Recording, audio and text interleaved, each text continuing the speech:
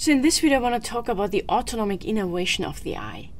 So we know that the sympathetic nervous system mediates mydriasis, which is a fancy term for pupillary dilation. Why is that? Because the sympathetic nervous system is our fight and flight response, and it equips us for the worst case scenario. What is the worst case scenario? A lion could attack us in the dark. And so we would still we would need to be able to see in the dark. How can we see in the dark? Well, if our pupils dilate, well, then we're going to collect as much as light as possible and we will be able to see in the night.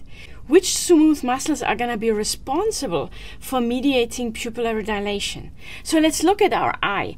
This is the iris and here I have drawn the pupil. So the pupil is surrounded by two different smooth muscles. So there's one circular smooth muscle around it.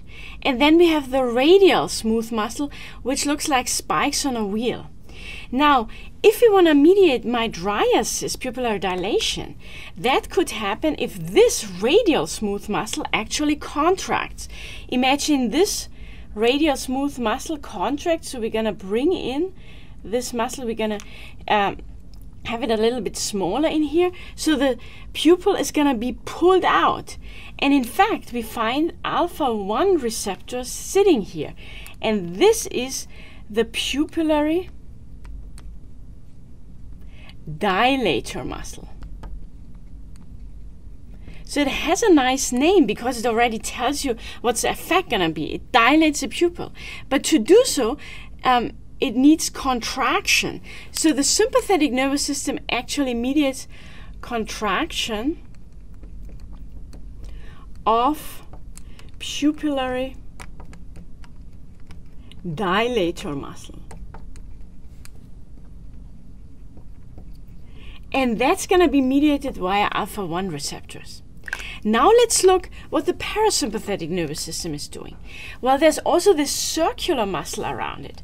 And we find here M3 receptors.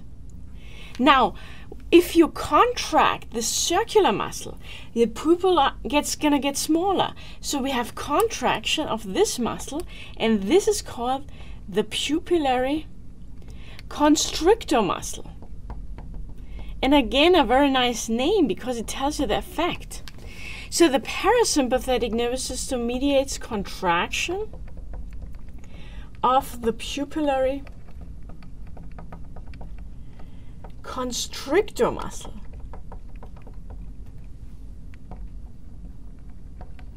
And this is mediated by M3. This concludes the video on the autonomic innervation of the eye.